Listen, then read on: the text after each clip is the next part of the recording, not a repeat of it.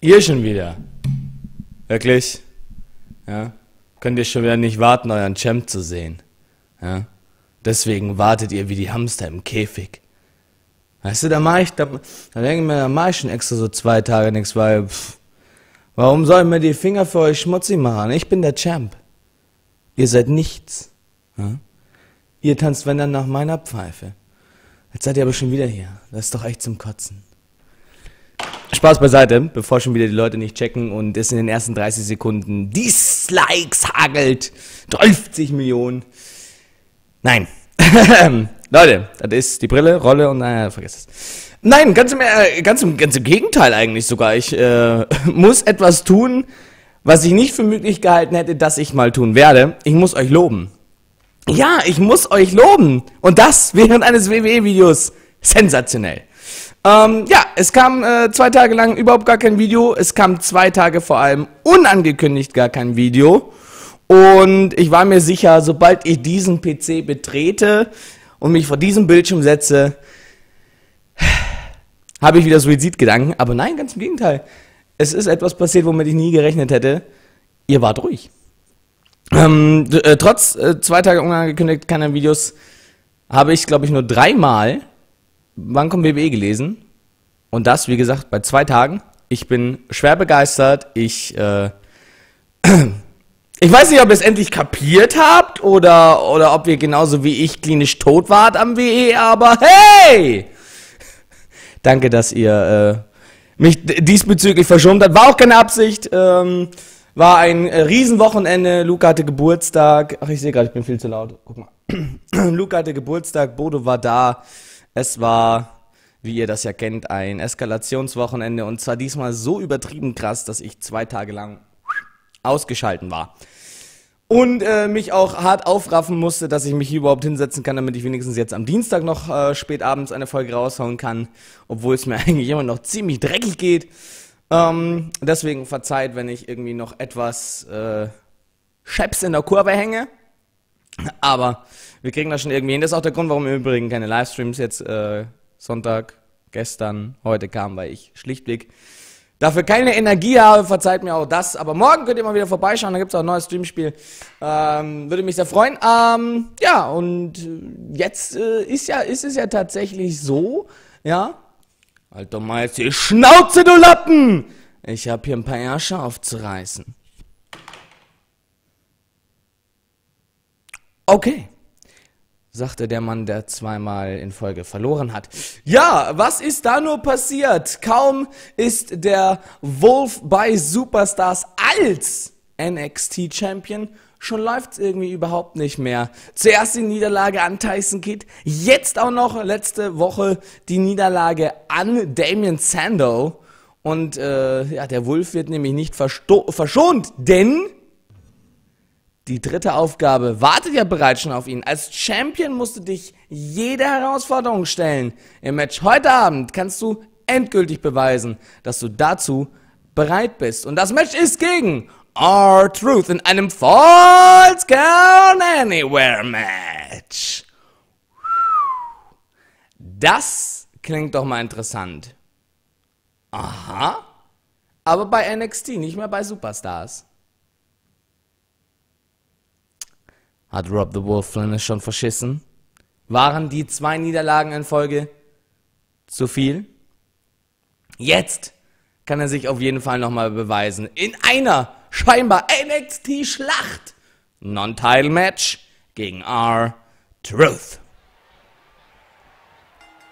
Und das Match geht damit auch schon los. Oh ja, und das ist wirklich ein sehr gefährliches Match. Ihr müsst euch nur mal vorstellen, für alle, die diese Match auch vielleicht nicht kennen, was ich mir nicht vorstellen kann. Es ist möglich, hier in der kompletten Halle einen Pinfall zu erlangen. Ah, jetzt hat er nochmal noch zugedrückt, damit ich ihr nicht mal weiß, wie es weitergeht. Aber das, haha, können wir unterbinden. Ah, okay, schau mal an. Ein sehr interessanter Start zwischen R-Truth und dem Wolf. So, der kennt da erstmal nichts. Ein Kraneschlag mit einem Chop hinterher. Doch, jetzt sofort wieder im Lockup. Der Wolf kann sich hinter R-Truth setzen. Bringt ihn jetzt schön zu Boden. Hat ihn jetzt hier im Side Headlock. Ah, das sieht gut aus. Und gewinnt dieses kleine Duell gegen ihn, aber sofort will Arschluss weitermachen, zieht allerdings wieder den kürzeren zu Beginn. Und damit sollte es das vielleicht auch schon gewesen sein. Na, ja, hm, wie auch immer. Artruth hier mit einem Side Russian Leg Sweep, um den Wolf auf die Beine zu, auf die Beine zu schicken. Und jetzt stell dir mal vor, der Wolf würde hier heute ein drittes Mal verlieren. Ja. Oh, oi. Ähm, wenn der Wolf, ja, hat seine Probleme gehabt gegen, oh, STO. Hat seine Probleme gehabt gegen Damien Sando, hat seine Probleme gehabt gegen Tyson Kidd, ja. Hat also vielleicht ein wenig unterschätzt, muss man ja wirklich mal dazu sagen. Ja, krachender Big Boot. Vielleicht hat er sie, hat er sie einfach ein bisschen unterschätzt. Ja, nachdem er bei NXT doch so gut, so, dass es da so gut lief. Will, oh, aber ebenfalls gar nicht erst auf von Artruth. Vielleicht äh, läuft es ja tatsächlich hier im NXT-Ring einfach wieder besser. Oh, Belly-to-Belly-Slam. Ja, einfach nur Belly-to-Belly vom Wolf. Vielleicht läuft es hier einfach besser. Vielleicht ist das doch eher seine Heimat als Superstars. Vielleicht Oha! Okay, eine interessante Variation der Kopfschere hier von Artus. Vielleicht ist Superstars einfach noch nicht sein Zuhause. Vielleicht ist da der Druck zu groß. Zu viele Menschen in der Halle. Wer weiß das schon. Aber hier zu Hause bei NXT, wenn man das denn zu Hause nennen kann, vielleicht läuft es hier anders. Aber Artruth hat auf jeden Fall Bock. Das sieht gar nicht so schlecht aus für den, für den Mann. Und wenn der Wolf jetzt hier ein drittes Mal in Folge verlieren würde, gegen einen, ja, doch schon sehr erfahrenen, vielleicht ist es auch einfach die Erfahrung der WWE Superstars, dass es einfach nichts wird für den Wolf, dann, äh, okay, Coverversuch. Na, sofort kommt Artruth da raus, da macht er sich überhaupt nicht ins Hemd. Was ist, wenn es doch die Erfahrung ist, die den Wolf hier einfach überkommt? Dann wäre das eben nicht nur die... Oh, krachender Schlag hier vom Wolf. Okay. Und jetzt äh, darfst du nicht vergessen, hier gibt es keine Countouts. Hier ist alles möglich. Jetzt steht er da und... Oh, das war ein erbärmlicher Versuch. Oh, Scorpion Death Drop. Und das auf dem Hallenboden. Cover. One. Oh. Wenn er jetzt verlieren würde, und wir wissen alle, oh, oh, oh, oh, und wir wissen alle, in der nächsten Woche, ah, Krach in der Big Boot, würde auf jeden Fall ein Titelmatch anstehen. Gegen wen auch das immer dann sein wird. Es gäbe ja dann drei Anwärter. Tyson Kidd, Damien Sando oder jetzt vielleicht R-Truth. Oh, und jetzt wird der Wolf einfach mal nach draußen geschickt. Gut gehen würde es denen nicht. Oh, was hat Arthur vor? Okay, er lässt das eher mal ein bisschen ruhiger. Und dann gibt's... Oh! Einen wunderschönen Slam hier auf dem Hallenbund. Und das wird Arthur wahrscheinlich nicht gefallen. Jetzt fliegt der Wolf allerdings gegen die Absperrung. Ah, kann es aber gerade noch so kontern. Und zeigt seinerseits einen Dropkick hier außerhalb des Rings. Ah, die beiden machen hier ein bisschen Gebrauch von ihrer Force Anyway Regel. Jetzt fliegt der Wolf allerdings gegen die Absperrung und kassiert einen Schlag. Noch einen Schlag. Und einen dritten Schlag, den sogar zu Boden wirft. Das ist natürlich keine gute Sache, aber jetzt ein schöner Konter vom Wolf und dann, oh, krachender Snap-Suplex. Saugefährlich. Oh, Weapon. Au, gegen die Ringtreppe. Muss R-Truth da dagegen fliegen? Und sowas ist natürlich eine saugefährliche Situation und verdammt saugefährlich ist auch das, was sie da machen. Was habt ihr hier vor? Das ist der Shoulder Breaker. Eieiei. Sehr, sehr gefährlich, was die, was die beiden hier machen. Und dann gibt es hier vielleicht einfach mal den Sleeper Hold. Versucht er, es ist natürlich jetzt möglich, außerhalb des Ringes äh, jemanden zur Aufgabe zu zwingen. Also, die Idee ist dann gar nicht so schlecht. Oh, Artruth kontert jetzt nochmal. Das ist mir alles ein bisschen zu gefährlich. Jetzt wirft Artruth den Wolf wieder in die Absperrung und schlägt wieder brutal auf ihn ein. Der muss unglaubliche Kraft in seinen Schlägen haben.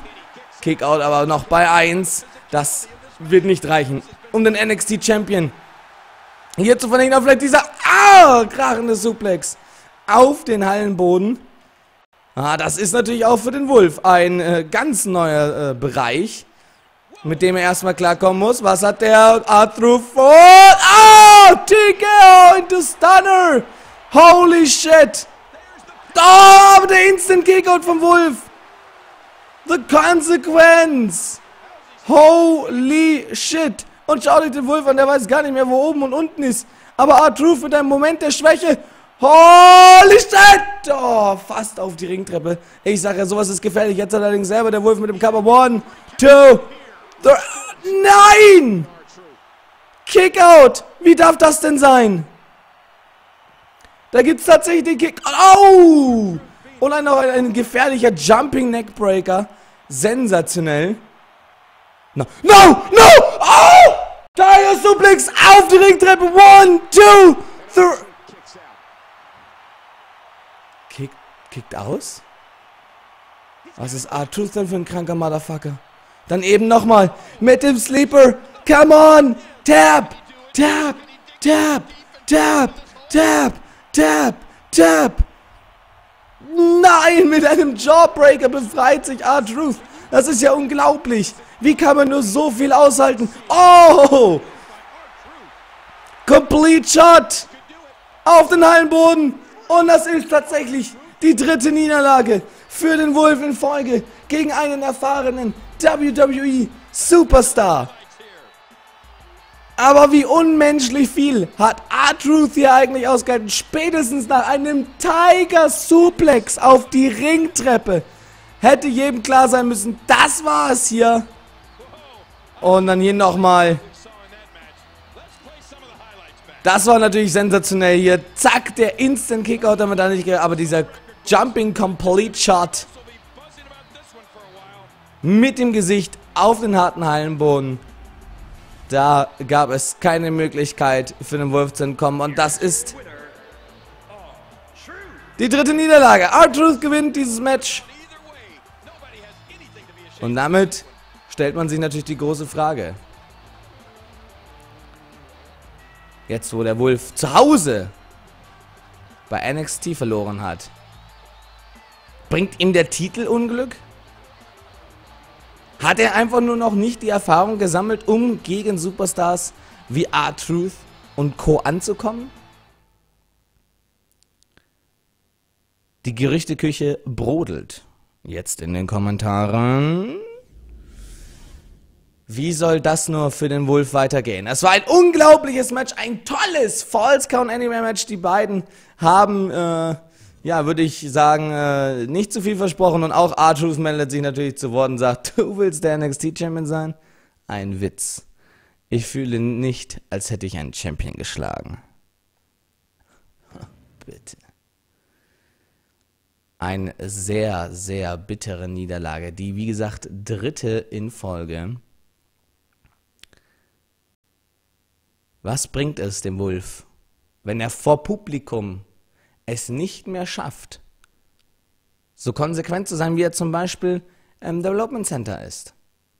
Da hat er das Köpfchen. Viel wichtiger ist, in der nächsten Woche, im nächsten Part, gibt es das NXT Championship Match. Gegen wen auch immer. Vielleicht Tyson Kidd. Vielleicht Damien Sandow. Vielleicht R-Truth. Vielleicht sogar ein Fatal Four-Way. Seid gespannt, wie auch immer das ausgehen wird. Das sehen wir in der nächsten Folge von WWE 2K15. Und nochmal vielen Dank für eure Geduld.